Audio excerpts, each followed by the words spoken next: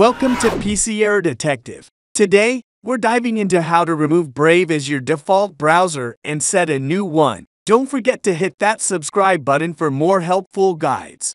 To begin, click on the Start menu icon located at the bottom left of your screen. Once it's open, look for the gear shape settings icon and click on it to access your system settings.